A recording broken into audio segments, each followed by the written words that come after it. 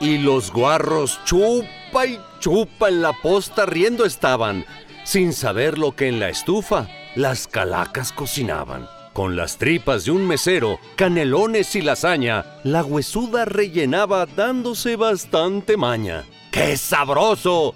¡Qué sazón! exclamaban los pelones, sin saber que de la cena, derechito a los panteones. Muerte viene como segura, matando justos y pecadores. No se le escapan ni los doctores, no se le escapa ni el señor cura, pues nos inclina la sepultura. No se le escapa ni el rezandero, y ni el borracho por vinatero, ni el asesino por ser matón. Todos tendremos que ir al panteón. Viene la muerte